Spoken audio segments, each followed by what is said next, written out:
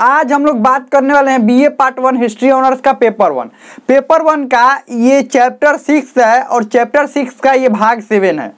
इससे पहले वाले भाग में हम लोग बौद्ध धर्म के बारे में पढ़े थे, जैन धर्म के बारे में पढ़े थे, महाजनपद काल के बारे में पढ़े थे। अगर इससे पहले वाले भाग का वीडियो नहीं देखे हैं तो उसका लिंक इसी वीडियो के नीचे डिस्क्रिप्शन में दिया गया, वहाँ देख सकते हैं।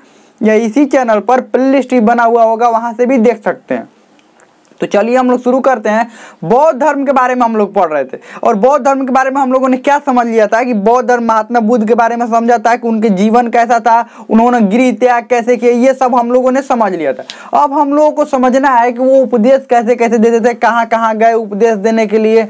और अपने अच्छे बातों को, जो उनको ज्ञान प्राप्त हुआ था, वो उस ज्ञान से समाज को क्या लाभ हुआ और कौन कौन से वो रास्ते बताए जिससे अपने जीवन को एक अच्छा जीवन बनाया जा सकता है। इन सब के बारे में पूरे डिटेल में बात करेंगे तो चलिए हम लोग शुरू करते हैं। महात्मा बुद्ध को ज्ञान प्राप्त होने के बाद सबसे पहले तो वो सारनाथ में गए थे।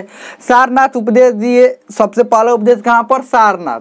में उपदेश दिए, वो और वो भी उसको कौन सी भाषा में उपदेश दिए? पाली भाषा में। आपको पता है जितने भी उपदेश होते थे, उनका अधिकतर उपदेश पाली भाषा में होते थे।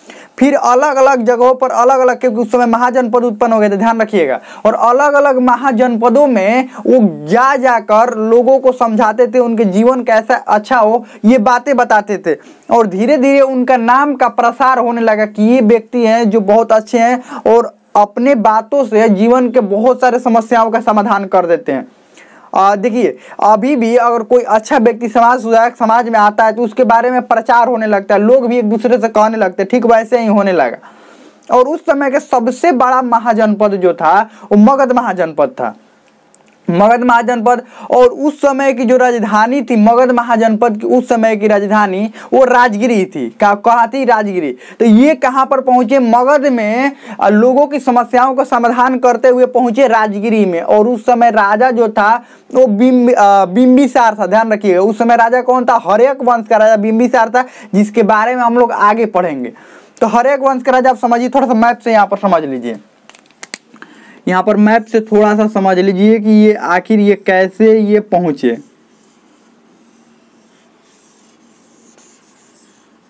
देखिए ये चारों तरफ़ घूम घूम कर अपना जो धर्म का है, वो प्रचार कर रहे थे। धर्म का मुख्य रूप से देखिए, इनका इनका इनका उद्देश्य क्या था कि लोगों का जीवन अच्छा हो। धर्म का तो इनका प्रचार ऐसे ही हो जा रहा था।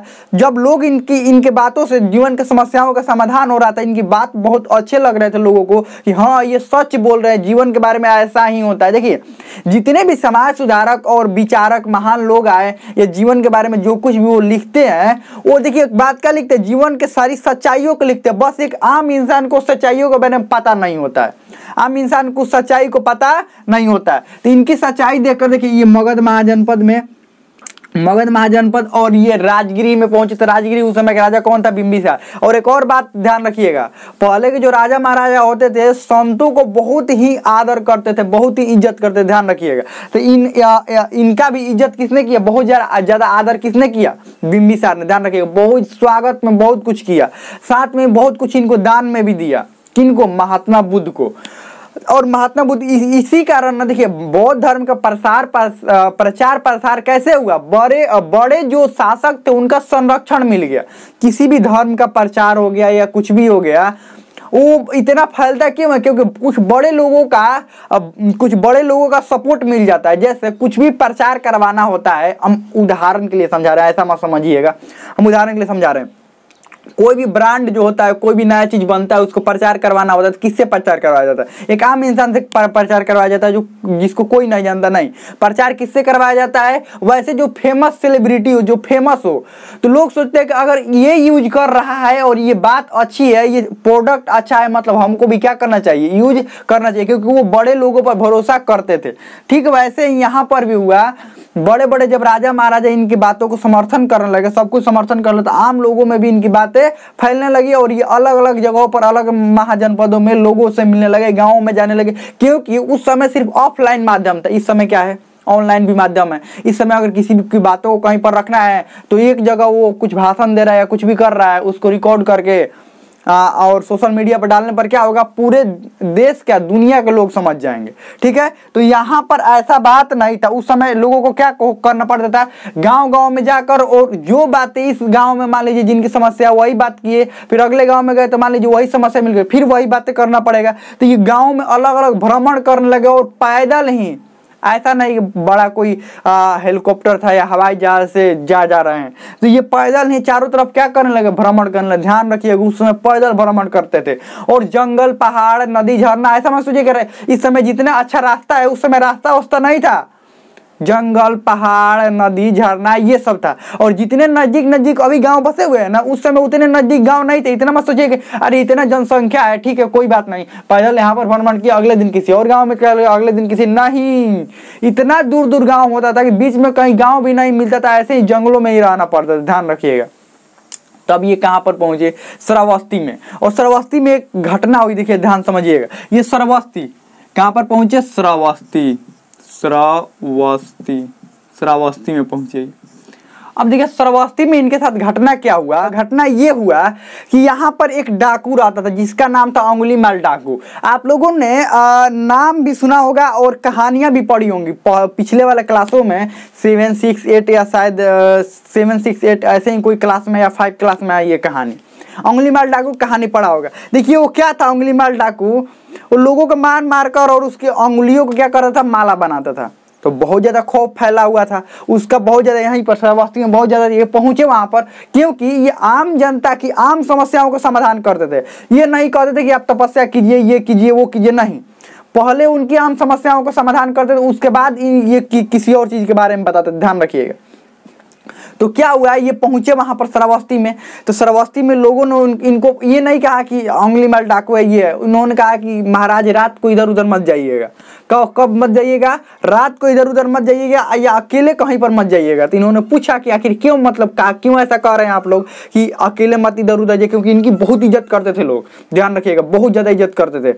अब आपको पता भी होगा, संतों को बहुत ज़्यादा माना जाता था। क्यों माना जाता? क्योंकि उनके पास इतना ज्ञान नहीं होता था। अभी भी हम लोग संतों को मानते हैं ना महात्मा बुद्ध को इतना मानते हैं। जो और भी संत, बहुत सारे संत हुए हैं, उनको बहुत ज़्यादा मानते हैं, ऋषियों को बहुत ज़्यादा हम लोग मानते हैं। तो क्योंकि उनके पास ज्ञान होता है, इसीलिए उनकी इज़्ज़त देते हैं। उनकी इज़्ज़त क्यों देते हैं हम? क्योंकि उनके पास ज्ञान होता है, बहुत ज़्यादा वो तपस्या किए हुए रहते हैं, तब वो ज्ञान मिलता है। ऐसे ही नहीं किसी को ज्ञान मिल जाता है। इसीलिए हम उनकी इज़्ज़त करते हैं ध्यान रखिएगा। तो ये महात्मा बुद्ध से कहा महात्मा बुद्ध कहेगा ऐसा क्या बात है? तो उन, उन्होंने बताया कि देखिए एक अंगली माल डाकू रहता है जिसकी वजह से हम लोग इतने डरे हुए रहते हैं ये सब रहता है। तो उन्होंने कहा कि कहाँ रहता है? बताइए हम जा रहे हैं। अब बताइए एक अकेला संत जो जो हिंसा हिंसा के खिलाफ थे वो ये ये कहते थे, ये जो महात्मा बुद्ध थे, ये भी कहते थे कि हिंसा नहीं होनी चाहिए। मतलब किसी को मारना नहीं है। तो लोग समझ रहे थे कि बताइए, एक अकेला संत ये बोल रहे हैं कि हिंसा भी नहीं करना है और सामने वाला जो अंगली मल डाकू अगर इनको मिल गया तो बिना हिंसा किए हुए मानेगा ही नहीं। और ये इधर से कुछ करेंगे ही नहीं। मतलब इनका अगर ये गए तो इनको बहुत ज़्यादा नुकसान पहुँचा देगा। तो लोगों ने समझाया कि देखिए, आप मत जाइए। उसके पास लोग बताए कि देखिए, वहाँ पर ऐसे ऐसे रहता है। जंगल का नाम बताया कि हाँ यहाँ पर रहता है। तो ये कहे कि नहीं, हम जाएँगे। लोगों ने क्या समझाया कि देखिए, महाराज, मत जाइए। वो बहुत बड़ा डाकू है। वो तो पहले बात तो किसी को पहचानता नहीं है। आप कौन है, क्या नहीं है, किसी को भी नहीं पहचानता। ये कहे कि ठीक है, कोई दिक्कत नहीं है, हम जाएँगे। ये कहाँ पर पहुँच गए? उसी के पास में जहाँ पर वो रहता था। आइए, रात को पहुँचे थे, क्योंकि रात में वो बाहर निकलता था। ऐसा नहीं कि दिन में वो तो किसी को मिलेगा ही नहीं, वो कहाँ रहता है? रात में पहुँचे उसके पास में। कहाँ पर? जहाँ पर उंगली माल डाकू रहता है। ये श्रावस्ती में की कहानी है ये। श्रावस्ती की कहानी उंगली माल डाकू जहाँ पर आता था, वहीं पर पहुँचे। और जब उंगली माल डाकू ने कोई इंसान हमारे तरफ़ आ रहा है तो बड़ा उसको अजीब लगा, अरे, हम, हमसे सब डर कर भागते हैं। ये कौन है जो हमारे तरफ़ ही आ रहा है? जब ये उसके पास पहुँचे तो बोले तुम ही उंगली माल डाकू हो। तो उसने कहा हाँ हम ही हम ही उंगली माल डाकू है। और वो ये बात सुनकर बहुत ही आश्चर्यचकित रहा कि सभी लोग हमसे डरते हैं, ये क्यों नहीं डर रहा है हमसे? तो उंगली माल डाकू ने कहा कि तुम हमारे पास आ गए हो, तुमको डर नहीं लग रहा हमसे? तो इन्होंने कहा उंगली माल डाकू से कि, डर हमको किसी से नहीं लगता है, डर तुम्हें हमसे लग रहा है। तो देखिए अंगलीमल माल डाकू क्या सोच रहा है? अंदर से अंदर से क्या सोच रहा था? ये बताओ, देखो, ये सामने खड़ा हुआ है। ये देख रहा है ना कि किसके सामने खड़ा है? ये हमको कह रहा है कि हम डरते हैं। हमसे उंगली माल डाकू अपने मन में सोच रहा था हमसे पूरा लोग डरते हैं, सभी लोग डरते हैं। ये कह रहा है कि आप तो तुम डरते हो हमसे। तो ये महात्मा बुद्ध ने कहा कि नहीं तुम डरते हो तो मंगलीमाल डाकू ने कहा कि बताइए हम आपसे कैसे डरते हैं? हम कहाँ डर रहे हैं आपसे? तो कहा महात्मा बुद्ध ने कहा कि देखो तुम कब निकलते हो? रात को निकलते हो? वो भी कब आ, और दिन में कभी निकलते नहीं हो? और भीड़ भाड़ वाले इलाके में तुम जाते नहीं हो? तो, तो डर किसको लग रहा है? डर तुम्हें लग रहा है क्योंकि तुम दिन में नहीं निकलते हो भीड़ भाड़ वाले इलाके में नहीं जाते हो लेकिन हमको किसी से डर नहीं है। देखो रात को तुम्हारे पास आए हैं। भीड़ भाड़ वाले इलाके में घूमते हैं दिन में घूमते हैं जिधर जहाँ मर्ज़ी वहाँ घूमते हैं। हमको किसी से डर नहीं है। डर किसको है? तुमको है। ऐसे करके दो तीन चार घंटा तो खूब समझाए उसको। बहुत ज़्यादा समझा बहुत सारे उसने सवाल किया बहुत कुछ किया सवाल। दो तीन चार लगभग चार घंटा तक बहुत कुछ उसको समझाए। पूरा देर तक मतलब समझाए। समझाने के बाद फाइनली क्या हुआ? वो अपना हथियार को त्याग दिया और किसका शिष्य बन गया? महात्मा बुद्ध का। समझ लीजिए, इनके बातों में इतना पावर था कि इनका शिष्य एक डाकू, जो कुछ घंटों पहले एक डाकू था और किसी की भी हत्या कर देता था, वो कुछ घंटों बाद किसका शिष्य बन गया? इनका। और हिंसा को पूरी तरह से क्या कर दिया? त्याग कर दिया। समझ रहे इनके बातों में इतना पावर था। बात ये ऐसे ऐसे बातें करते थे जीवन की, ऐसे सच्चाई ही बता देते थे ना कि सामने वाला भी इनका शिष्य बन जाता था। तो ये सरवास्ती में उंगली माल डाकू कहानी है। सरवास्ती में ऐसा हुआ था। और सरवास्ती बहुत ज़्यादा जाते थे। ये सबसे अधिक उपदेश सरवास्ती में दिया था। ध्यान रखिएगा। और इनका प्रचार का सबसे बड़ा जो केंद्र था, वो केंद्र कहाँ बना? ये मगध बना। ध्यान रखिएगा। सबसे बड़ा केंद्र कहाँ बना? मगध बना। उसके बाद इनका एक प्रिय शिष्य था, जिसका नाम था आनंद। ध्यान रखिएगा। एक प्रिय शिष्य। प्रिय शिष्य था जिसका नाम था आनंद। शिष्य, जिसका नाम था आनंद। आनंद था। अब देखिए, महिलाओं को पहले बौद्ध संघ में प्रवेश की अनुमति नहीं थी। पहले सिर्फ़ पुरुष ही बौद्ध संघ में प्रवेश कर सकते थे, इनके अनुयायी बन सकते थे। हाँ इनकी बातों को सुनना है, कोई भी इनकी बातों को सुन सकता है, अपने जीवन में लागू कर सकता है, लेकिन इनके शिष्य नहीं बन सकता। लेकिन आनंद के कहने पर, आनंद ने भी कहा कि, नहीं महाराज, महिलाओं को भी शामिल कीजिए, कोई दिक्कत नहीं है। तो ये पहले तो नाक बोले, फिर बोले कि ठीक है, शामिल कर लो, लेकिन बौद्ध धर्म ज़्यादा दिन अब चल नहीं पाएगा। जब ये तुम कह रहे हो ना तो ये बौद्ध जो धर्म है, वो अब ज़्यादा दिन चल नहीं पाएगा। फिर भी इन्होंने कहने के बाद ही महिलाओं को प्रवेश की अनुमति दे दी। अब उसके बाद क्या, वो सबसे पहली महिला जो थी, वो इनके धर्म में, इनके बौद्ध धर्म में प्रवेश की सबसे पहले प्रवेश किसने किया? इनकी मौसी गौतमी थी। इनकी मौसी कौन थी? गौतमी। गौतमी जो पहली महिला थी जिन्होंने बौद्ध संघ में प्रवेश किया। बौद्ध संघ में प्रवेश करने के बाद ये क्या होता था? देखिए एक उपासक होते थे एक भिक्षुक होते थे। उपासक कौन होते थे? कि इनके बातों को मानना और अपने जीवन में उस बातों को लागू करना। और अपने जीवन जैसे जी रहे हैं वैसे जी, जीते रहे मतलब गृहस्थ जीवन जीते रहे उसमें कोई दिक्कत नहीं आप अपना काम करते रहिए सब कुछ करते रहिए। बस इन जो बात बताए इन बातों को अपने जीवन में लागू करना। दूसरे कौन होते थे? भिक्षुक होते थे। दो प्रकार के, एक तो इनके शिष्य कौन कौन होते थे? शिष्य ध्यान रखिएगा। एक शिष्य थे और एक थे उपासक। यानी कि शिष्य में दो तरह के लोग होते थे। शिष्य में दो तरह के लोग होते थे। कौन कौन? एक तो होते थे भिक्षुक और एक होते थे उपासक। भिक्षुक भिक्षुक और एक होते थे उपासक। उपासक। ध्यान रखिए। तो उपासक तो अपने गृहस्थ जीवन जीते रहते थे, कोई दिक्कत नहीं, लेकिन भिक्षुक जो होते थे, इनके साथ ही रहते थे। भिक्षुक कहाँ रहते थे? इनके साथ ही रहते थे, इनके धर्म में प्रवेश करके और इनके धर्म को प्रचार प्रसार में बहुत ज़्यादा मदद करते थे। ध्यान रखिएगा मतलब जो जो जो भी बातें करते थे, उन बातों को क्या करते थे? और एक बात, जहाँ जहाँ ये उपदेश देने जाते थे, इन, इनकी बातों को क्या किया जाता था? लिखा जाता था। ध्यान रखिएगा।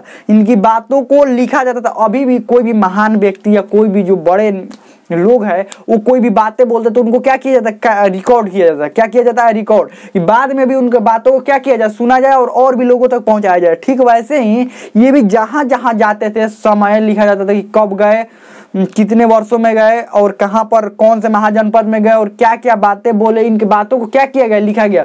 बाद में ही इन्हीं के उपदेशों को बौद्ध धर्म के अलग अलग पुस्तकों में अलग अलग पुस्तकों में रचना किया गया। जैसे आ, जैसे यहाँ पर बात करें मिलिंद पन्हो हो गया या और भी सूत पिटक हो गया अभिधाम पिटक हो गया त्रिपिटक में ही तीनों आते हैं सूत पिटक अभिधाम पिटक और विनय पिटक हो गया। इन बा इनकी बातों को उपदेशों को इनके बौद्ध संघ के नियमों को सब उसी में लिखा गया कि मान लीजिए इनके जाने के बाद क्या किया गया उन्हीं को लागू किया गया। अब इनकी बात करें, ये बहुत जगह पर, और ये काफ़ी वृद्ध हो चुके थे। और इनकी मृत्यु चार सौ तिरासी ईसा पूर्व में हुई। मृत्यु कब हो गई? चार सौ तिरासी ईसा पूर्व में। ध्यान रखिएगा। मृत्यु चार सौ तिरासी ईसा पूर्व में हुआ। मृत्यु चार सौ तिरासी ईसा पूर्व में हो गया। और मृत्यु होने के बाद, अब देखिए, मृत्यु जब हुआ चार सौ तिरासी ईसा पूर्व में तो मृत्यु होने के बाद जो बौद्ध संघ थे, उनको चलाने के लिए कुछ नियम कानून बा- अब देखिए, ये जब तक थे तो सब कुछ बताते थे कि देखिए, ऐसा करो ऐसा करो। लेकिन अब तो बौद्ध धर्म के एक प्रॉपर नियम बनाना पड़ेगा कि एक सही तरीका से नियम होना चाहिए, बौद्ध धर्म कैसे चलेगा, क्या चलेगा। तो इनके मृत्यु के बाद ही एक बौद्ध संगीति करवाया गया तो बौद्ध संगीति के बारे में हम लोग आगे पढ़ेंगे, लेकिन सबसे पहले इनके कुछ बातों को, कुछ विचारों को थोड़ा सा समझ लेते हैं। विचारों को समझने से पहले, इनके सबसे पहले समझेंगे त्रिरत्न क्या थे। त्रिरत्न ध्यान रखिएगा। त्रिरत्न त्रिरत्न में क्या क्या थे? बुद्ध धम्म धम्म और संघ संघ बुद्ध धर्म और संघ ये त्रिरत्न थे। और इन, इनके चार आर्य सत्य थे। ध्यान रखिएगा, चार आर्य सत्य। यहाँ पर यहाँ पर थे, यहाँ पर आर्य सत्य थे।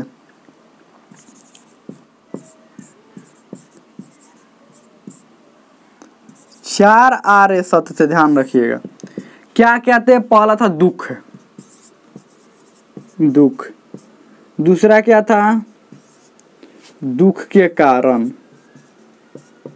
दुख के कारण। तीसरा क्या था? दुख का अंत। और चौथा क्या था? दुख के अंत का मार्ग। अंत का मार्ग। अब समझिए। इनके चार आर्य सत्य थे। ये जीवन में ये बताते थे कि चार ये आर्य सत्य है, इसको ध्यान रखना। सत्य का मतलब देखिए, दुख। बोलते थे कि सबसे पहला दुख। ये कहते थे कि जीवन दुखों से भरा हुआ है। आप भी कहेंगे, कैसे कहते थे कि जीवन दुखों से भरा देखिए, ये कहते थे कि जीवन, जब से हम जन्म लेते हैं, हमें अनेक प्रकार के हमारे जीवन में दुख आते हैं। कभी क- कभी कोई भी दुख आ गया, कोई रोग हो गया या कुछ भी हो गया, बहुत तरह की सिचुएशन हमारे जीवन में आते हैं और ये जो दुख है, वो हमारे जीवन में पूरा, हमारा जीवन ही पूरा दुखों से भरा हुआ है। जितने भी प्राणियों ने यहाँ पर धरती पर जन्म लिया है, उनके जीवन जो है, वो दुखों से क्या होता है? भरा रहता है, चारों तरफ़ वो दुख से क्या रहता है? भरा हुआ रहता है, दुख के एक समुद्र में हम लोग रहते हैं। और दुखों का कारण क्या है? तो अब इनसे सवाल किया गया, आप बोल रहे हैं कि दुख है तो दुखों का कारण क्या है? तो दुखों के कारण हमारी इच्छाएँ होती हैं। इनका एक ही मतलब था कि दुख का कारण हमारी इच्छाएँ होती है। अधिकतर जो दुख होते हैं, वो हमारी इच्छाओं के कारण होते हैं। अब कैसे दुख, इच्छाओं के कारण होते हैं। बहुत सारे जो दुख है, दूसरे से उम्मीद कर लेते हैं कि सामने वाला ऐसा करेगा या हमें ऐसा देगा कुछ या ऐसा कुछ करेगा, लेकिन वो दे नहीं पाता है या सामने हमारा उम्मीद पूरा नहीं हो पाता है। या हम उम्मीद रखते हैं कि ये हो जाएगा, वैसे हो जाएगा, लेकिन वैसा होता नहीं है। जब नहीं होता है तो हमें क्या होता है? दुख होता है। तो वह इच्छाएँ ही हमारे दुखों का कारण है। उसके बाद, दुखों का अंत क्या है? दुखों का भी अंत अब चाहिए ना। तो दुखों का अंत क्या है? हमारी इच्छाओं का त्याग ही हमें दुखों के अंत तक लेकर जाएगा और अपने जीवन में बहुत सारी जो गलत चीज़ें हैं, उनको त्यागना पड़ेगा और सही चीज़ों को अपने जीवन में अपनाना पड़ेगा। दुख का अंत का मार्ग क्या है? यही मार्ग है कि जो इच्छाएँ हैं, उनको त्याग कीजिए, दुख का अंत अपने आप हो जाएगा। ठीक है? इतने चार आर्य सत्य फिर अष्टांगी मार्ग इन्होंने दिया और ये बहुत कुछ इनके उपदेश रहे। अब इनके थोड़ा सा बौद्ध संघ के थोड़ा सा नियम समझ लेते कि बौद्ध संघ के नियम क्या थे। इनके संघ में प्रवेश करने के नियम क्या थे? कैसे कैसे थे? देखिए, बौद्ध संघ में बौद्ध संघ के नियम, बौद्ध संघ के नियम। संघ के नियम ये तो आपको नियम में प्रवेश करने के या नियम में प्रवेश नहीं किया तो सत्य अहिंसा ये सब तो अपनाना ही है। और कोई भी इनके धर्म में प्रवेश कर सक, सकता था ध्यान रखिएगा कोई भी प्रवेश कर सकता था कर सकता था। इस पर अब ये जाति या वर्ण का कोई भी आ, इस पर जाति या वर्ण का कोई भी आ, मतलब चिन्ह नहीं लगा हुआ था कि आप इस जाति से हैं तो भी प्रवेश करेंगे या इस वर्ण से हैं तो ही प्रवेश करेंगे। कोई भी व्यक्ति गरीब हो अमीर हो कोई भी व्यक्ति इनके धर्म में प्रवेश कर सकता था। इनके धर्म के कुछ नियम बनाए गए थे और जिसमें कोई भी बौद्ध भिक्षुक या कोई भी कुछ गलती करता था तो उनको कैसे सजा देना है इसके भी प्रावधान होता था। उसके लिए एक समिति होती थी। समिति ध्यान रखिएगा। समिति इसका निर्णय करती थी कि सामने वाले को क्या सजा देना है। क्योंकि जो जब लोग किसी धर्म या किसी संस्था में प्रवेश करेंगे तो गलतियाँ भी करेंगे। और बड़ी बड़ी गलतियाँ भी कर सकते हैं। तो उनकी सजा कैसे होगा या उनको कैसे निकाला जाएगा बौद्ध संघ से उसके नियम क्या होंगे कौन सी बड़ी गलती हुई कौन सी छोटी गलती हुई ये भी तो निर्णय करना है ना। सामने वाला बड़ी गलती कर, करके बोलेगा कि नहीं हम गलती नहीं किए क्या कर लीजिएगा। तो ये भी दिक्कत है। तो ये सब सारे नियम, ध्यान रखिएगा। और एक और इनका नियम था कि जो भी बौद्ध भिक्षुक होते थे, वो तो मांग कर खाना खाते थे मतलब लोगों से मांग कर भिक्षा मांग कर खाना खाते थे। और उतना ही आपको मांगना है जितना कि आप खा सकें। ये नहीं, खाना इतना है, मांग इतना लिए और और फेंक दिए। तो नहीं, ऐसा नहीं है। अनाज का दुरुपयोग नहीं करना है। और सारे बौद्ध भिक्षुक है, अपना काम स्वयं करते थे। जो भी काम करना होता था, अपना सारा काम क्या करना होता था? स्वयं ही करना होता तो हमें लगता है समझ में आ गया होगा, अब इसमें कोई भी आपको डाउट हो, इतना कुछ में कोई भी डाउट हो, कोई भी क्वेश्चन हो, आप कमेंट में पूछ सकते हैं। हमें लगता है समझ में आ गया होगा।